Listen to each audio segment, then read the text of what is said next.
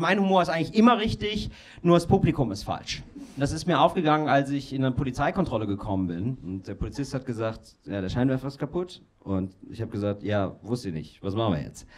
Und dann hat er gesagt, ja, steigen Sie mal aus dem Auto aus, gehen Sie ins Auto rum, hauen Sie auf den Scheinwerfer, meistens geht's dann wieder. Und ich habe gedacht, okay, der will dich auf jeden Fall verarschen, aber egal, mach, was er sagt. Hab mich auf den Scheinwerfer gehauen und er ging wieder. Ich habe ihn so fassungslos angeguckt und er hat gesagt, ja, ist häufiger bei dem Modell so. Und dann standen wir so unschlüssig voreinander und dann meinte er so, ja, was kann ich ja sonst noch für Sie tun? So, als wäre das so eine besondere Serviceleistung von ihm. Und meinte dann so, soll ich vielleicht mal den Kofferraum kontrollieren? Haben Sie da vielleicht eine Leiche drin? Ja, obwohl für eine Leiche ist eh zu klein, oder? Und dann habe ich gesagt, nee, für ein Kind reicht's. Richtiger Humor, falsches Publikum.